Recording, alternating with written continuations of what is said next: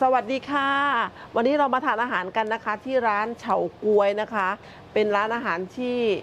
คนแถบนี้นะคะ หรือว่าคนอีสานนิยมทานกันนะคะ แล้วก็ราคาก็ไม่แพงนะคะ เป็นอาหารพื้นๆนะคะ ก็เช่นเด่นนะคะก็จะมีนะคะ กุ้งทะเลชุบแป้งทอดนะคะ ไก่ทอดเกลือ หมูทอดกระเทียมนะคะ เอ็นไก่ทอดนะคะรสชาติก็ถือว่าอร่อยนะคะ มีลาบนะคะ ลาบเป็ดกุ้งแช่น้ำปลานะคะนี่รายการอาหารนะคะ เนื้อมะนาวกุ้งมะนาวอ่ากุ้งโคโยตี้นะคะยำไข่ปลานะคะนี่รายการอาหารนะคะ ส่วนใหญ่นะคะ แป๊ะซาปลาช่อนนะคนก็นิยมนะคะ แป๊ะซาปลาช่อน ส้มตำก็มีนะคะ ส้มตำโคราชนะคะ ส้มตำโคราช ไม่พลาดสำหรับคนอีสานนะคะ นี่ผัด ผัดขี้เมาก็มีนะคะ หมูป่าผัดเผ็ดนะคะ เคยทานแล้วอร่อยมากเลยค่ะ ผัดหมี่โคราชนะคะ อ่ารายการอาหารก็ประมาณนี้เลย เดี๋ยวมาดูนะคะว่าที่นี่อร่อยมากราคากันเองค่ะ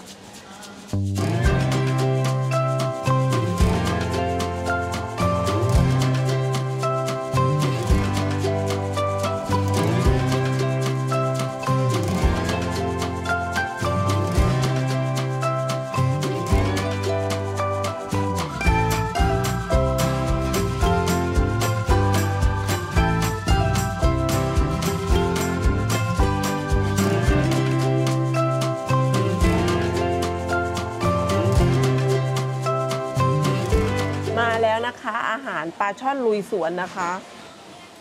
เดี๋ยวเรามาทานว่าอร่อยไหมอะปลาช่อนลอยลุยสวนนะคะ เป็นปลาช่อนนะคะ ก็จะมีสมุนไพรนะคะ มีมะม่วงนะคะ ถั่วฝักยาว ใบโหระพานะคะ ตะไคร้แล้วก็พริกนะคะ แล้วก็มะนาวนะคะ ปรุงรสชาติเดี๋ยวมาดูรสชาติกันนะคะว่าอร่อยหรือเปล่าอะดื่มบรรยายรสชาติด้วยนะอ่า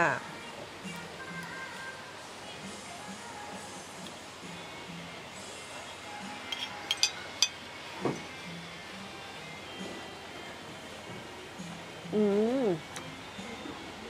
รสจัดมากค่ะท่านผู้ชม ออกรสชาติเปรี้ยวๆเผ็ดๆนะคะ จานนี้นะคะก็คือหมูป่าผัดเผ็ดนะคะเขาก็จะเอาหมูป่านะคะ มาผัดกับพริกแกงนะคะ ก็จะมีเม็ดพริกไทยนะคะ ใส่ใบมะกรูดลงไปนะคะ เพื่อความหอมอ่าเรามาชิมรสชาติกันนะคะ นี่เม็ดพริกไทยนะคะ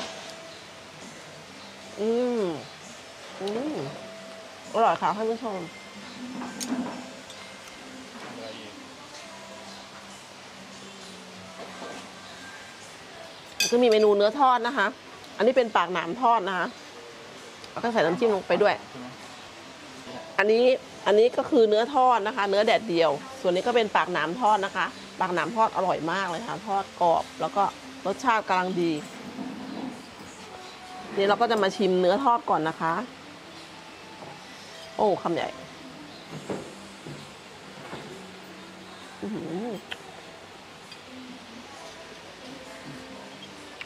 กลมกล่อมมากค่ะ อ่า ส่วนปลาช่อนลุยสวนนะคะ ราคาประมาณ 200 บาท ส่วนเนื้อแดดเดียวก็ราคา 80 บาทปากหน้ำทอดก็ 80 ส่วนหมูป่าผัดเผ็ดราคา 60 บาทนะคะ ทั้งหมดนี้แล้วก็ถือว่าราคาไม่แพงนะคะ ถือว่ามื้อหนึ่งก็คุ้มนะคะ แล้วก็ได้รสชาติที่อร่อยด้วยกินเป็นครอบครัวนะคะ ก็ถือว่าประหยัดแล้วก็อร่อยด้วยค่ะ